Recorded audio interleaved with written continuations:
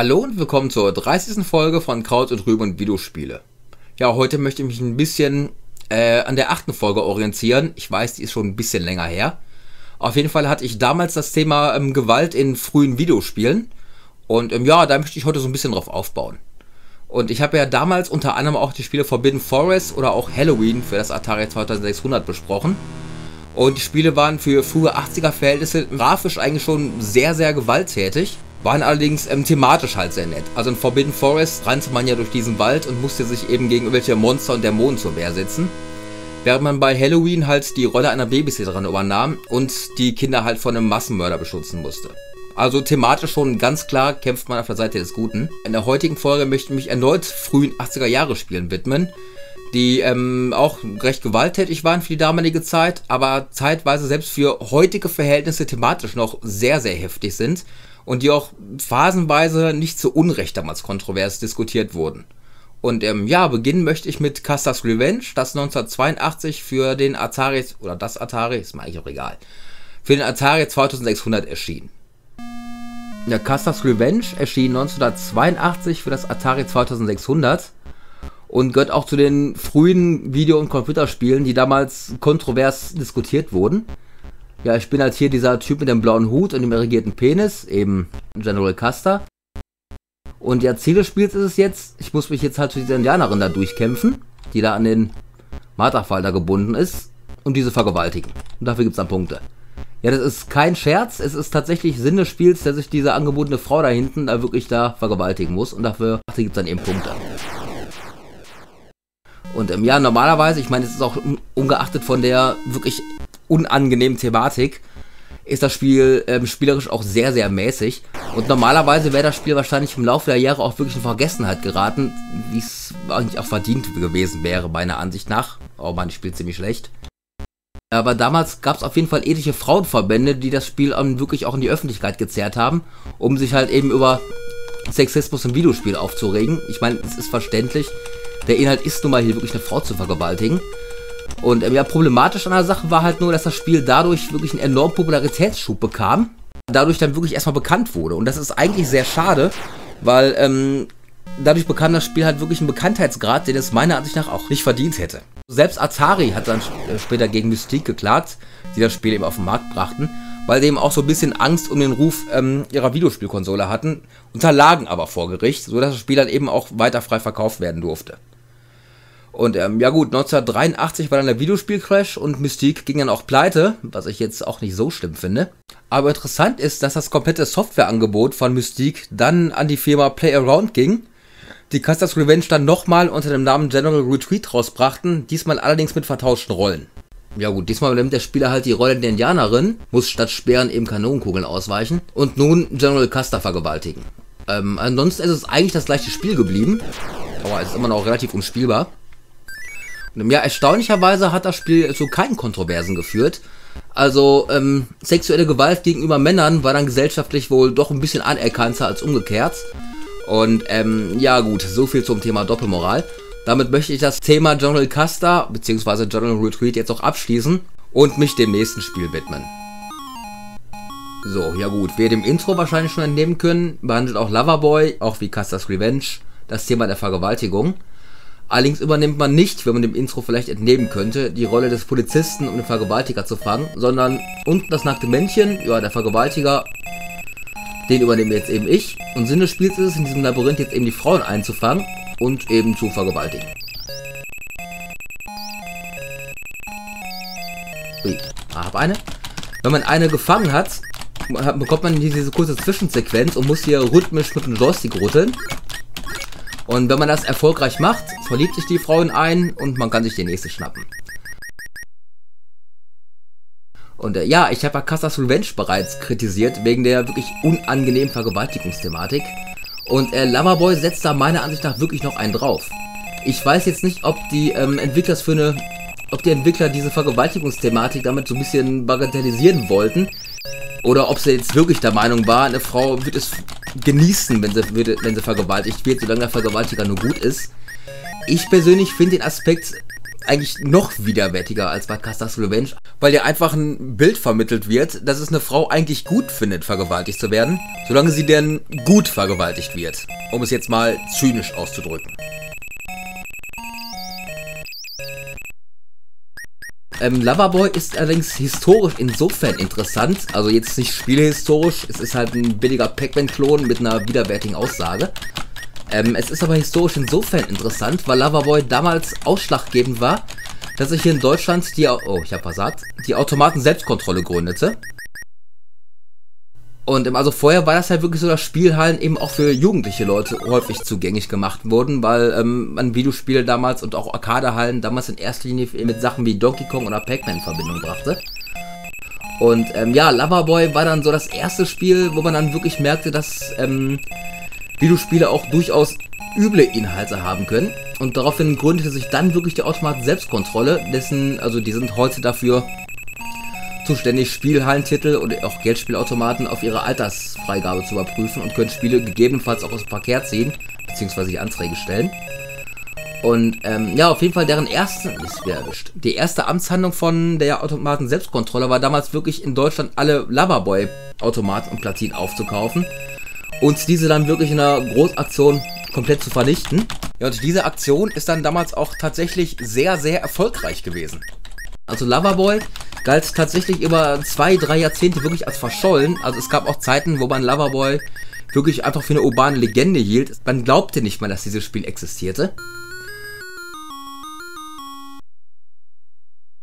drei oder vier Jahren ist dann wirklich zufällig noch eine Platine aufgetaucht, um das Spiel irgendwie zu archivieren ja, ob das jetzt wirklich eine gute Sache ist, sowas wie Loverboy nochmal für die Nachwelt festzuhalten, lässt sich sicherlich sowas streiten. Aber ähm, ja, ich habe jetzt halt wirklich eine Sendung genommen, weil es halt um das Thema Kontroversen in alten Videospielen geht. Aber gut, damit habe ich meine Chronistenpflicht jetzt erfüllt. Ich habe jetzt auch keinen Bock, mir den Mumpitz hier länger anzutun und gehe raus. Aber haken wir das Thema Sex jetzt ab und kommen zurück zur grafischen Gewalt, die nicht auf sexuellem Missbrauch basiert.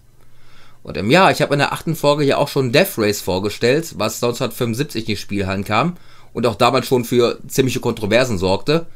Nach heutigen Maßstäben natürlich schon sehr niedlich, damals konnte man durchaus noch damit schocken.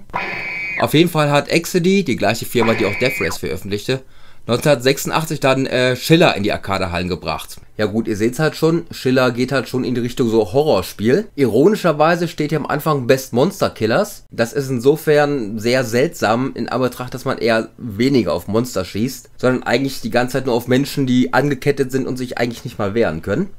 Ja, ich erwähnte bereits, Schiller ist inhaltlich sehr fragwürdig, aber ich starte jetzt mal. So, das Spiel ist insgesamt in vier Levels unterteilt. Einmal die Folterkammer, damit fangen wir an. Dann der Rake Room, ich weiß leider nicht, was es heißt. Hallway, klar ist diese Eingangshalle. Und äh, der Friedhof. Ich starte.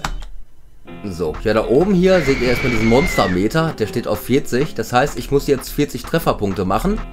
Keine Ahnung, warum das Monstermeter heißt. Trefferpunkte erreiche ich nämlich so. Ja, es ist kein Scherz.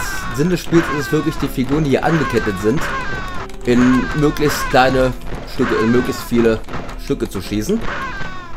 Hier ist eine Guillotine, da kann ich auch die Frau da unten guillotinieren. Zack. Und ähm, hier ist noch so ein Foltergerät, das kann ich auch runter machen. Schiller gehört zu den Sachen, die selbst nach heutigen Maßstäben milde gesagt mehr als fragwürdig sind. Und ähm, ja, also ihr seht es gerade, es gibt auch keinerlei Gegenwehr von den Figuren, weil die logischerweise auch alle angekettet sind und sich da nicht wehren können. Oh, Level 1 geschafft. Und äh, ja, der einzige Feind in dem Spiel, den ich eigentlich habe, ist, ist die Zeit. Also ich habe in jedem Level halt so eine bestimmte Zeit, die Punktezahl zu erreichen. Und äh, wenn ich das schaffe, so wie jetzt, geht es halt dann zum nächsten Level, wo ich halt dann weiter auf wehrlose Menschen schießen darf.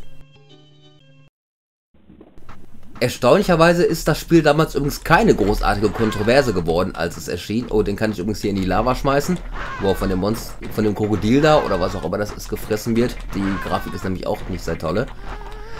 Ähm, drolligerweise ist das Spiel damals keine großartige Kontroverse geworden, was einfach daran liegt, dass das Spiel immens floppte. Also die meisten Videospielhallenbesitzer haben sich damals schlichtwegs wirklich geweigert, das Spiel zu kaufen und ihre Spielhallen zu stellen wodurch das Spiel eben auch relativ unbekannt und auch relativ wenig verbreitet war.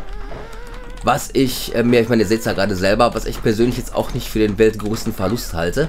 Ja, abgesehen davon, dass die Grafik halt recht mäßig ist und äh, selbst damals eigentlich schon bessere Fadenkreuz-Shooter gab. Das Spiel ist thematisch und inhaltlich nicht mal mehr nur fragwürdig. Also ich muss, ja, ich mag das vielleicht ein bisschen moralisierend klingen, aber ich finde es ehrlich gesagt nur noch scheiße. Und ja gut, damit wäre Schiller dann auch abgehakt, Chronistenpflicht ist erfüllt und ich gehe weiter zum nächsten Spiel. Eines der populärsten Horror-Franchises in den 80er Jahren war die Freitag der 13. Serie, die 1980 startete. Na gut, auf jeden Fall war damals der erste Teil von Freitag der 13. wirklich erfolgreich genug, sodass man allein in den 80er Jahren insgesamt sieben Fortsetzungen drehte. Nun ja, wie das mit erfolgreichen Filmserien meistens so ist, gab es natürlich auch die ethischen Videospiel- und Computerspielversoftungen, unter anderem auch für den Commodore 64, die ich mir gleich mal näher ansehen werde. Und ähm, ja, ich muss ja selbst gestehen, ich bin ziemlicher Fan der Freitag 13. Filme, aber bei aller Liebe muss man wirklich eingestehen, dass die Filme handlungstechnisch meistens eher dünn waren und sich die Spannung der Filme in erster Linie wirklich aus Schock- und Gewalteffekten zog. Also eigentlich auch ähnlich wie das Spiel für den Commodore 64. Und da muss man fairerweise gestehen, das macht das Spiel eigentlich wirklich gut, weil auch wenn ich das Spiel zum gewissen Grade mag, ebenso auch wie die Filme, viel mehr als äh, Schockeffekte und äh, Schockeffekte bietet das Spiel dann eigentlich auch nicht. Aber ich lege jetzt auch direkt los. Ja gut, hier sind jetzt so die fünf Hauptcharaktere des Spiels. Gary King, Brian Bone, Amanda Baxter, Wendy Watson und Stuart Palmer. Den spiele ich halt im Laufe des Spiels.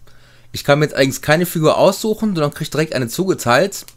Und das Spiel startet im ersten Level direkt mit Gary King. So, bei jeder Figur wird am Anfang so eine kurze Biografie gezeigt. Hier jetzt Gary King. Äh, Gary zum Beispiel hat so einen Geschmack für Abenteuer und wird jetzt allerdings auch nie wie jemanden zurückstoßen, der irgendwie Hilfe benötigt oder sowas. Ja, er ist halt der geborene Anführer und benutzt halt so seine Kombination aus Stärke und Intelligenz relativ erfolgreich. Allerdings hat er wohl auch eine geheime Schwäche, und ähm, das ist für das Spiel eigentlich auch vollkommen irrelevant. Also ich habe es eine Weile gespielt und ich hatte nicht das Gefühl, dass irgendeine Figur sich von einer anderen unterscheidet. Also die Biografie ist in erster Linie einfach eine nette Spielerei oder vielleicht wird ja einfach versucht, eine Spieltiefe vorzutäuschen, die nicht da ist. Aber ähm, ist egal, ich starte jetzt. Zack. Ja gut, Sinn des Spiels ist es jetzt, ich renne halt in diesem Camp rum. Also ich fange in dieser Kirche an. Ich weiß zwar jetzt nicht, warum das Camp eine Kirche hat. Ist mir aber auch egal. Ja, muss jetzt halt hier meine ganzen Kollegen beschützen. Also hier seht ihr halt die anderen Camper rumlaufen. Unten rechts ist auch die Anzeige, wie viele Camper noch leben. Oh, direkt die Axt. Axt ist so die beste Waffe, die man kriegen kann. Auf jeden Fall muss ich jetzt Jason finden, bevor Jason halt die ganzen Camper umbringt. Und dann eben Jason umbringen. Also in einem Zweikampf, vielleicht bringt er mich auch um. Aber Jason ist relativ leicht zu besiegen, also da sollte es keine Probleme geben.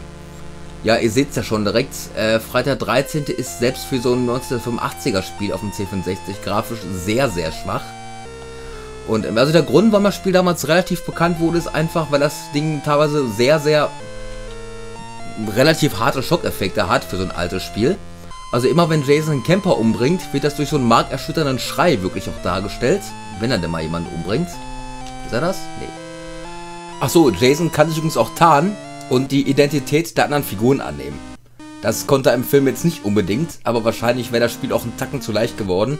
Ah, da ist er. Wenn man ihn sofort erkennen würde. Oh, Mist. Ist er das? Zack. Ah, da ist er, jawohl. Momentan kommt nicht viel Gegenwehr. Na, komm. So, ich habe ein Gesicht. Ja, das meine ich mit dem Schrei. Und der Schrei ertönt auch immer, wenn Jason gerade einen Camper umgebracht hat. Ja, das kommt teilweise schon recht erschreckend. Jetzt steuere ich Wendy Watson. Ja, Wendy ist ein schüchternes Mädchen, äh, das sich im Leben generell, also das ganze Leben generell sehr anstrengend findet. Sie ist halt immer ein bisschen depressiv und hat deshalb ihren Nicknamen Waterwalk Wendy bekommen. Also Waterwalk, klar, Wasserweg Wendy, weil sie oftmals ständig Holz. Und auf jeden Fall wurde sie von den Eltern zu dem Camp geschickt, damit sie halt Leute kennenlernt. Und ja, Wendy Watson muss jetzt halt Jason finden und platt hauen. Irgendwie ist Jason heute ein bisschen träge. Also normalerweise ist er eigentlich schneller dabei, die ganzen Camper platt zu machen. Ja gut, das heißt Messer, das ist ziemlich schwach, ist aber erstmal besser als gar nichts. Ich suche jetzt erstmal eine anständige Waffe.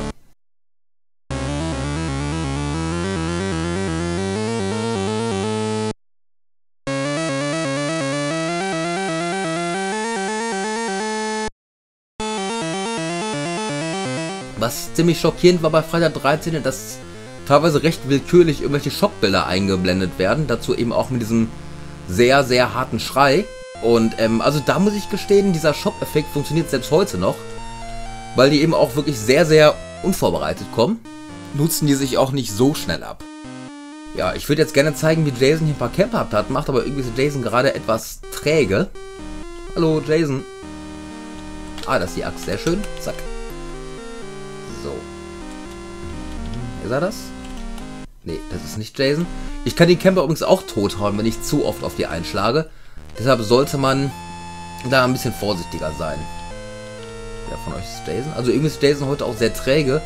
Normalerweise ist er eigentlich aggressiver und macht mehrere Camper direkt platt. Irgendwie äh, scheint er heute etwas schläfrig zu sein. Oh ja, hier ist das Kreuz. Das Kreuz hat jetzt, ist keine wirkliche Waffe. Wenn ich das Kreuz irgendwo hinstelle, versammeln sich die Camper irgendwann in dieser Umgebung. Und Jason kann eben den Raum mit dem Kreuz nicht betreten. Das ist so der einzige Grund, den das Kreuz hat. Ja, wollte ich es nochmal erklären. Also eigentlich ist es ein relativ unnützes Gimmick. Ja, ich würde mich freuen, wenn Jason jetzt mal hier irgendwie ein bisschen Aktion treten würde. Ich würde mich ganz gerne mal zeigen, wenn Jason hier Leute platt haut. Aber irgendwie ist er heute etwas träge. Hallo, und Mistgabel? Ne. Ah! Okay, Jason hat irgendjemand platt gemacht. Ihr seht jetzt da unten den Grabstein. Also ein Camper ist weg. So, da ich aber keine Ahnung habe, wo Jason ist. Wie gesagt, es können auch jederzeit Schockbilder kommen, die also wirklich überraschend kommen. Apropos Schockbilder. Ich weiß jetzt nicht, ob ihr als Zuschauer Bock drauf habt, so willkürlich irgendwelche Schockbilder zu bekommen. Deshalb habe ich in der Nachbearbeitung so einen kleinen Counter eingebaut, kurz bevor die Schockbilder kommen. Ich habe diese Warnung allerdings nicht.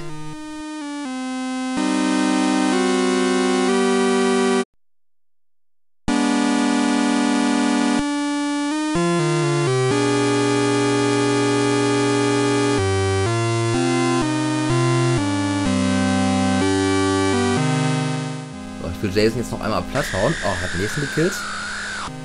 Ja, gut. Wo ist er? Okay, jetzt habe ich mich erschreckt. Okay, Jason muss irgendwo hier sein. Da ist eine frische Leiche. Das meinte ich mit den Schockbildern. Ist er das? Oh, ich habe einen Camper umgebracht. Hoppla. Okay, der muss hier noch irgendwo rumrennen. Boah, ernsthaft, jetzt habe ich mich echt erschreckt bei dem Bild. Ist er das? Hallo, bist du Jason? Ne, ist er nicht. Ach Mist, ich hab ihn verloren. Bist du Jason? Ne, auch nicht. Und raus hier. Okay. Oh. Ja, wie ich bereits sagte, die Schockeffekte funktionieren meiner Ansicht nach immer noch sehr gut. Mein Gott, wo ist Jason denn jetzt? Kinders.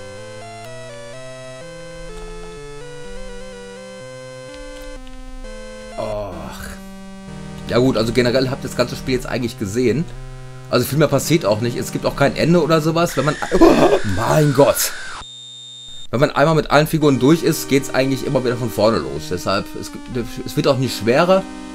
Da ist er, jawohl! Komm, komm, put, put, put. Zack, zack, zack. Mann, wo ist er? Also manchmal wehrt er sich auch, aber irgendwie ist er heute... Ah, da habe ich zumindest einmal getroffen. Ja gut, Jason ist besiegt und deshalb breche ich das Video jetzt auch ab. Na gut, nach Friday the 13 möchte ich mich jetzt auch dem letzten Spiel für die heutige Sendung widmen, nämlich Infernal Runner. Ja gut, ihr seht es jetzt auch schon am Intro, an dieser blutunterlaufenden Infernal Runner Schrift.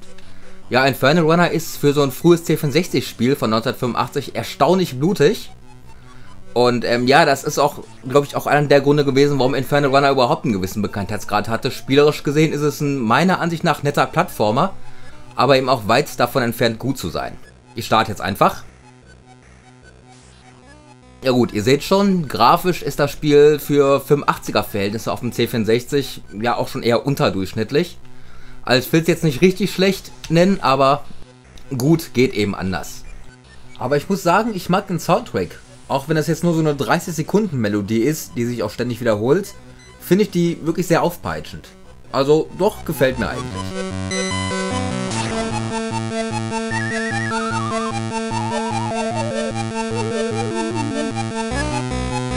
Ja, Ziel des Spiels ist es, ich muss jetzt in diesem Riesenlabyrinth insgesamt fünf Schlüssel finden und mit diesen Schlüsseln zehn Kisten öffnen. Also Mit jedem Schlüssel kann ich zwei Kisten öffnen.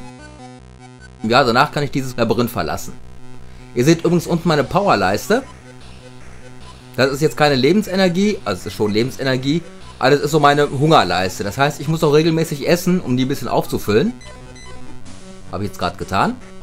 Und ähm, ja, wenn die halt irgendwann auch leer ist, verliere ich halt ein Leben.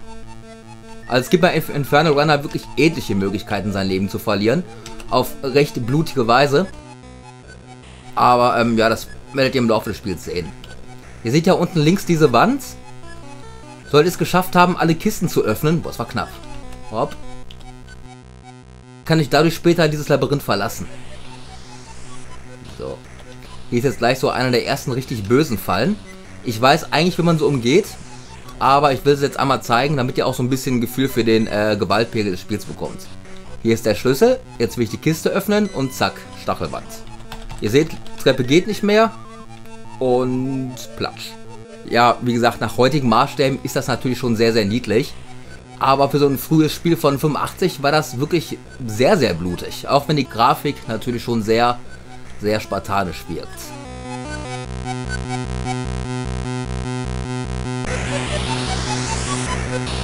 Ist ein Freileben.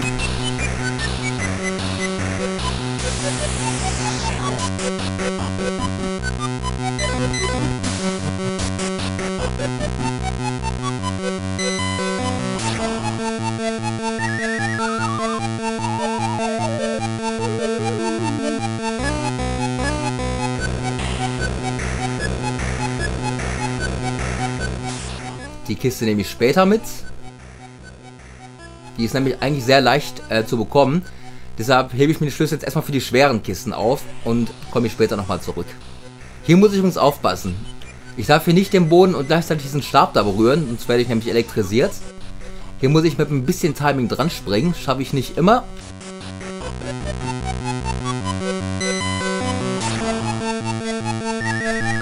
Jetzt habe ich es nicht geschafft. Ja, sonst passiert eben das.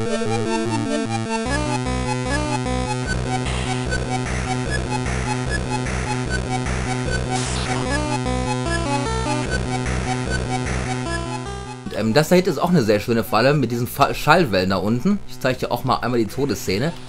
Übrigens, ich werde das Spiel auch durchspielen, also keine Angst, ich werde jetzt nicht direkt alle Leben verheizen.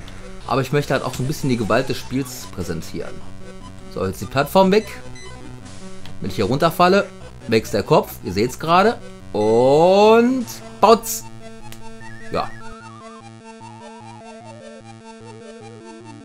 Ich muss auch sagen, wo ich Inferno Runner damals gespielt habe, ich gehörte auch zu den Leuten, die das Spiel selbst ganz okay fanden, aber ich mag auch Plattformspiele. Aber ich glaube, der einzige Grund, warum ich das wirklich so intensiv gespielt habe, war halt wirklich, weil ich eben sehen wollte, wie die ganzen Todesanimationen aussehen. Ich muss auch gestehen, ich habe dann irgendwann später mehr oder weniger durch Zufall rausgefunden, wie das Spiel überhaupt funktioniert. So, nächste Kiste.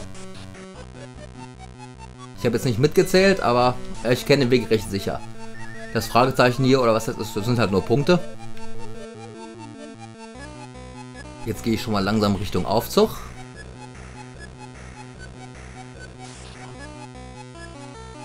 Die Kiste nehme ich später mit. Ich hole mir immer erstmal die Kisten, die ein bisschen schwerer zu erreichen sind. Hopp. So, jetzt habe ich es geschafft. Weil ich muss jetzt gleich zum Dachgeschoss. Das ist ein ganz, schönes, ganz schönes Stück bis dahin. Vor allem, weil auch die ganze Stelle mit dem Lift ein bisschen nervig ist. Deshalb möchte ich jetzt nicht direkt meine ganzen Schlüssel verbrauchen. Sondern komme ich später nochmal zurück. Hier ist eine Kiste. Öffnen. Nächste Schlüssel. Ja, die Macher des Spiels, das waren zwei Franzosen. Die haben auch außer Inferno Runner danach nichts mehr gemacht äh, Yves Corta und Coel Michel. Ich kann die Namen nicht aussprechen. Also ich kann französische Namen noch schlechter aussprechen als englische Namen. Auf jeden Fall haben die außer Inferno Runner dann nichts mehr gemacht auf dem C64. Also ich glaube generell auch nichts mehr.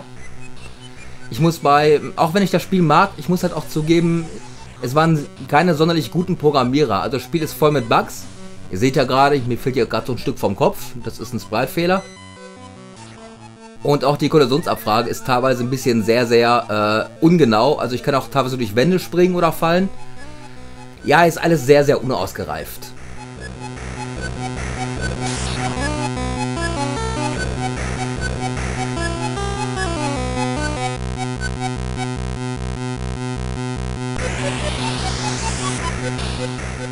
So, und Sprung. Ach, Mist. Ja, okay. Ich hätte eigentlich darüber springen müssen. Na gut, hoch kommt man hier nicht mehr. Ich hätte es zumindest nie geschafft. Und eine weitere von den zahlreichen Todesarten. Na gut, jetzt der Lift weg. Super, jetzt muss ich warten. Ja, das ist so ein Punkt, den finde ich, gerade diese ganze Aufzuchtstelle im Spiel, finde ich ein bisschen nervtötend. Weil der Aufzug wirklich lang, wirklich langsam ist. Und man muss hier echt ganz schön lange warten, bis der jetzt wirklich mal wieder runterkommt. Und eine andere Möglichkeit jetzt da hochzukommen habe ich leider nicht mehr. Aber den Soundtrack, also ich finde den sehr schick, also auch sehr aufpeitschend. Ich mag den. Auch wenn er sich eben wirklich sehr oft wiederholt.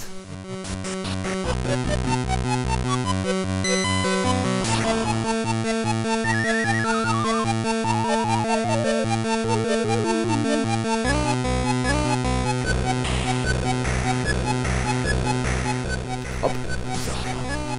Schlüssel mitnehmen. Schaffe den Sprung jetzt. Und hopp.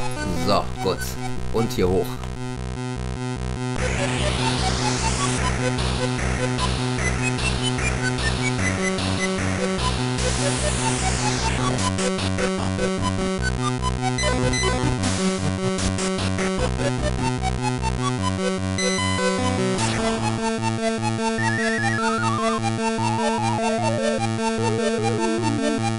Da unten ist übrigens ein Freileben.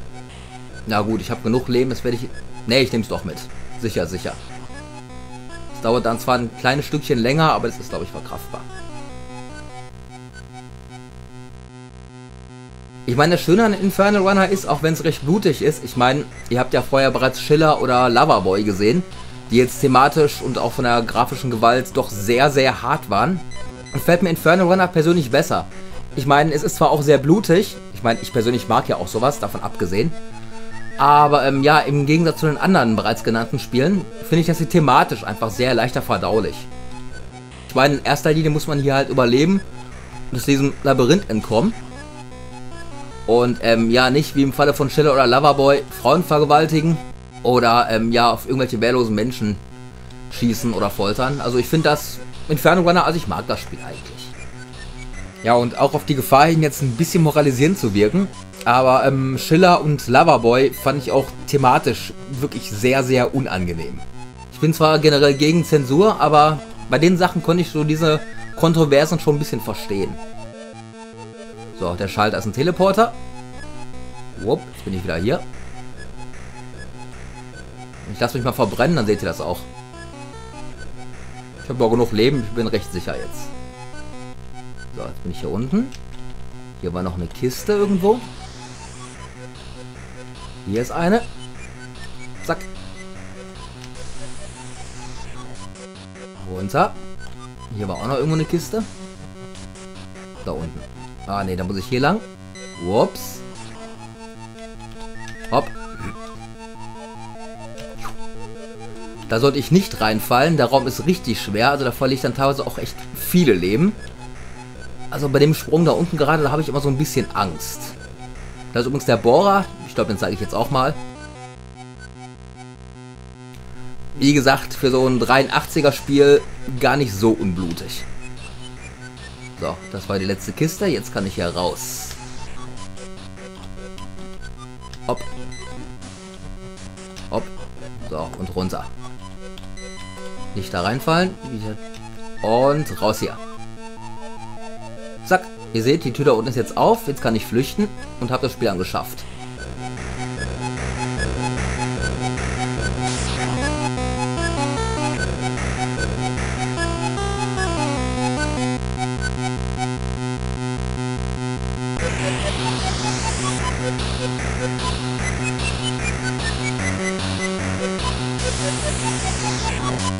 Ja gut, damit geht auch die diesmalige Folge zu Ende. Ich hoffe, es hat euch wieder gefallen. Und ich sag mal, tschüss, bis zur nächsten Folge.